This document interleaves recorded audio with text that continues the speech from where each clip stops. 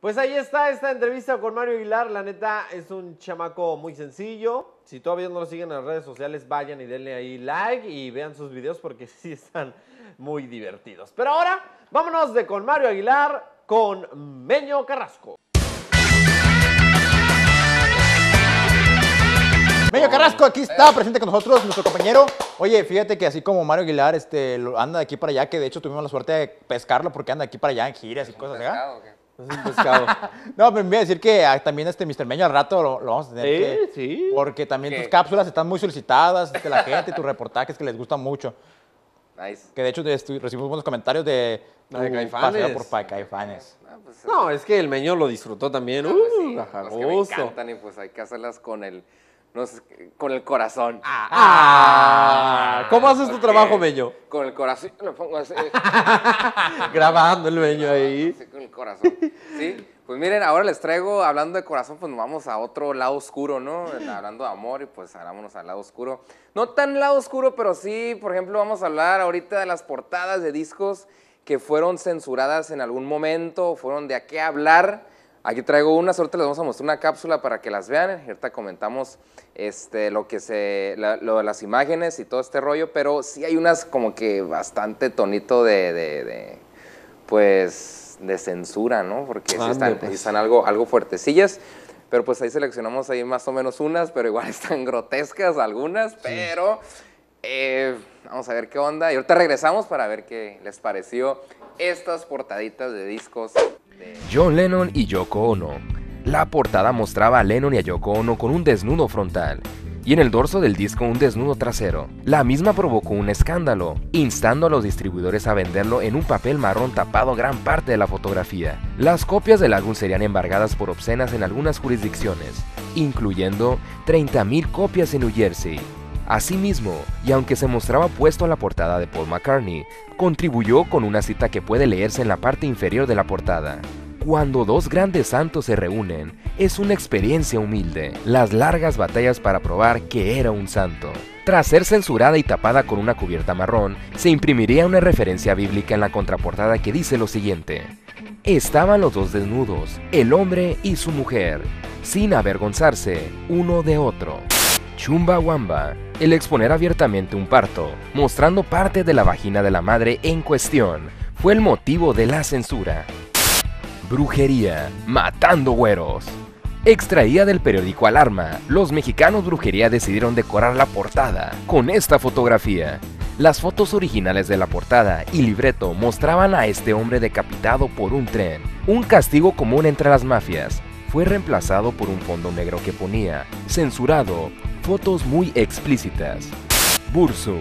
Con el surgimiento del género gore en el cine, la competencia entre bandas de grindcore por ver cuál de ellas sacaba la portada más grotesca e impactante se convertiría en toda una religión. En esta portada, toda una declaración de intenciones, puede verse las ruinas de Fantoff Kirk, una iglesia que fue incendiada por el propio cantante de la banda en 1992.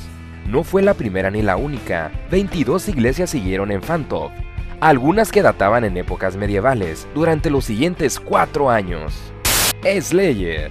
Varios grupos cristianos se sintieron ofendidos y se enfurecieron por la portada del álbum Christ Illusion del grupo Slayer, la cual consideraban un sacrilegio. La carátula muestra a un Jesucristo tatuado y amputado sobre un mar de cuerpos y cadáveres. Sin embargo, parece ser que a los miembros de la banda les gusta ese tipo de polémicas, que sin lugar a dudas se transforma en un excelente apoyo publicitario para cualquier lanzamiento. Kerry King, guitarrista de la banda, comentó, Queríamos a Cristo en un mar de desesperación. Sin embargo, la primera versión que nos dieron solo parecía como si estuviera muriendo de frío en el agua. The Black Crows. En sus días, la portada fue censurada por mostrar vello público. La solución consistió en que el sello relanzó el disco y la portada, pero poniendo un fondo negro y solo enseñando el bikini. Reportó para la hora extra Meño Carrasco. Oye, fíjate que me sorprendió mucho porque este, ya nos habías presentado algunas portadas, pero las otras eran censuradas, pero por ridículo, o sea, no tenían Ajá. nada que ver y lo censuraban, pero estas de verdad sí estaban así, Sí, algo... pues este, de hecho traigo unas aquí, pues, si puedes mirar, ah, las que Un miraron poco más fuertes, ¿no? Un poco más fuertes. Estas fueron seleccionadas ahí por, pues, por fans y todo este rollo, pero sí están algo, algo, grotescas, así bastante y pues algunas que no están tan grotescas, ¿verdad? Por ejemplo, eh, en las portadas de los años 80 que ponían a una mujer con, con ropa eh, como con de cuero, ¿no? Así Ah, brilloso y nomás enseñaba poquilla el, el, el cachete acá en la nalga, pero sí se ponían así como que bien alterados. Pero pues ahí están estas portadas de discos y pues a ver qué les pareció. Espero no haya problemas. Ya de mañana censurado el programa. No, no, no, pero pues es que ahí son las portadas, ¿no? O sea, Oye, pero aparte, por ejemplo, eh, pues va a depender mucho de- del tiempo en el que estemos, ¿no? O sea, ahorita sale una portada de esas y casi nadie le hace. no, el pues fuchi. ahorita ya como que ya no importa este, las portadas, ya que pues en las redes sociales se entera primero uno. y, pero en ese tiempo sí como que está muy restringido en este aspecto las portadas, eh, pues es eh, personas sin cabeza, sangre, eh, algo muy gore, ¿no? Sí. Igual es como que de cierta forma pues les puede funcionar a los artistas, ¿no? Que se quieren vender rápidamente el disco o llama la atención, salen ciertas portadas, ciertas copias eh, y se venden de volada y la gente pide más, más, más, más. Es el morbo más que nada el que está Claro. vendiendo, pero sí hay unas que están eh, subidas de tono, ¿no? Sí, Pero- lo, y luego aparte, este, bueno, es que he escuchado muchos comentarios de, de amigos y amigas que les gusta mucho este, los, los Beatles y que siguen mucho a John Lennon, bueno, que se hicieron muy, muy fan de él, y que dicen que no, que, que este, esta Yoko Ono, que era muy, muy, estaba muy fea para él, que qué le vio. Y yo ahorita que, que la, vio- la vimos así en la portada, Michi, ya sé qué le vio, dice el no, vio. al contrario, dije, pues, ¿qué? Era una modelo, ¿eh? ¿Y Era qué? una modelo en ¿Qué? ese tiempo, él le llamó mucho la Porque las atención. todas caídas y todo Sí. el peluche ahí, pues, Todo el... En el estuche. todo el el estuche. Peluche en el estuche. Sí, exacto. el- eh, sí. Pues ahí están esas portadas y pues ya para despedir, pues una, una frasecita que me gustó mucho de Bob Marley, que dice, mi vida solo tiene importancia si puedo utilizarla para ayudar a los demás. Si se trata solo de buscar mi bienestar y seguridad, entonces prefiero rechazarla. O sea, Ande, pues. ¿De quién es? la gente. De Bob, Bob Marley. Marley. Bob Marley, exactamente. ¡Agua en el hoyo! Agua en el ¡Agua en hoyo. el hoyo! Ahí está. Nos vemos a la próxima y próximos eventos y, y todo ese show. Oye, oye, hoy es todo con M, mira. Mi- M de miércoles, M de Meño, M de Mario Aguilar y M de emisores. Ok. Pero es- ese con E. ¿Se va a acabar el mundo o qué? Vamos con emisores, ¿va? Vamos con Va, emisores.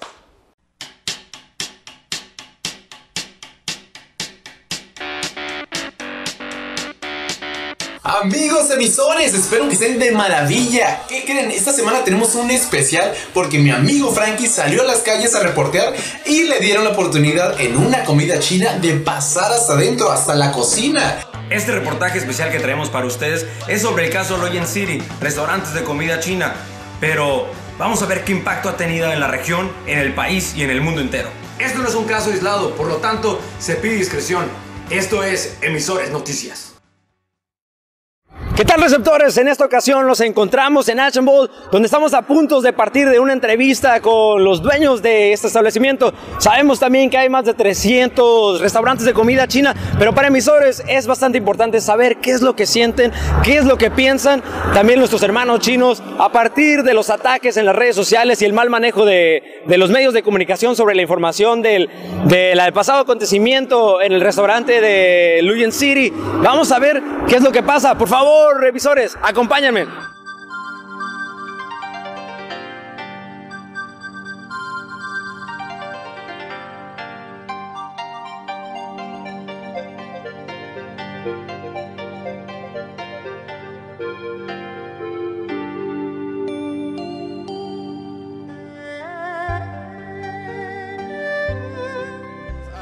La primera semana, la verdad, sí tuvimos una venta, una caída 70, tal vez. Este, ahorita, afortunadamente, este, ya con la, con la ayuda de los videos y algunas promociones, invitándole a la gente de, de buen modo que pase a la cocina, pero ha aumentado, ha aumentado bastante. Este, tal vez ya estemos en- recuperando un 50% de lo que habíamos perdido. este, no simplemente se ha afectado a nosotros, sino también a nuestros trabajadores, porque si no tenemos ventas, no, no tenemos las... No podemos pagar la renta, la luz. Este, yo creo que es un efecto dominó, porque no nomás nos está afectando a nosotros, también a los proveedores de pollo, de verduras. Este, ok, que son empresas mexicanas, trabajadores mexicanos, igual que las comidas chinas, que tenemos trabajadores mexicanos. La comida china aquí en la frontera se caracteriza, bueno, es una de las características turísticas. Este, tenemos que rescatar eso, tenemos que rescatar esa cadena económica que formamos parte de.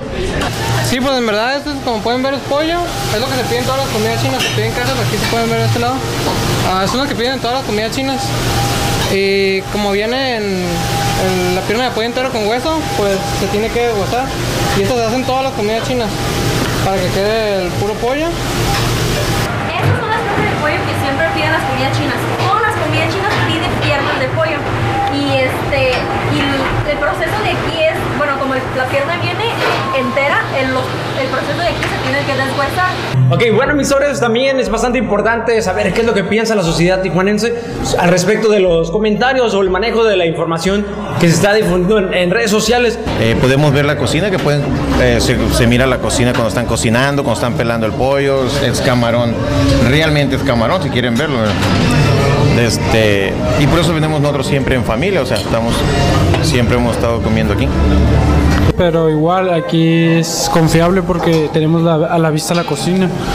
Pues aquí estamos, la prueba es que aquí estamos y seguimos confiando en que, en que los productos que estamos comiendo son confiables y, este, y por eso seguimos aquí, por, lo, por la confianza que nos da estar aquí. Pues no hay que generalizar, este, no castigar a toda, toda la gente por algo que no estamos acostumbrados. Este, yo lo que digo, muy su opinión de, de la gente de la otra. A mí me gusta, veo que hay confianza, veo que hacen la comida aquí. Este, está rico, la verdad. Digo, yo es una tradición que pues, estoy llevando. Familia, ven, comemos a gusto, este, volvemos a repetir, está rica la comida. Y no por uno la que tengan que llevar los demás, la verdad.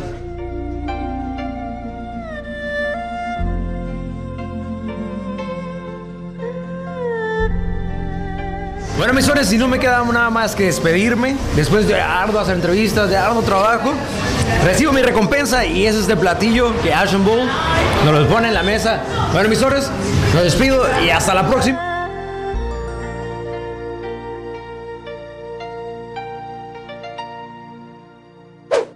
Al Ángel Maya le faltó la M de me estoy cagando. Porque ya está ponchando. Así que, M de miércoles. Ándale, exacto, M de miércoles. Oye, no, pues ya vámonos porque sí, ocupo ir al baño, ni modo, ya. Que ir al baño siempre, ¿no? Pues a ganar porque yo va- primero aquí. Se la pagan cagando, le ponen el baño. Ahí con sus cositas. Vámonos ya, amigos. Recuerden la repetición a la medianoche. Quique, redes sociales. Así es, nos decimos hasta luego. Mi nombre es Kike Franco y nos pueden encontrar en Facebook como La Hora Extra y de hecho ya en YouTube también pueden encontrar algunos de los programas pasados. En YouTube también nos encuentran como La Hora Extra. Meño Pichón. Sí, a mí me pueden encontrar en High Five y en Metroflow y en MySpace, MySpace. Messenger. Meño Churrasco. Vámonos, nos vemos mañana. Adiós. buenas-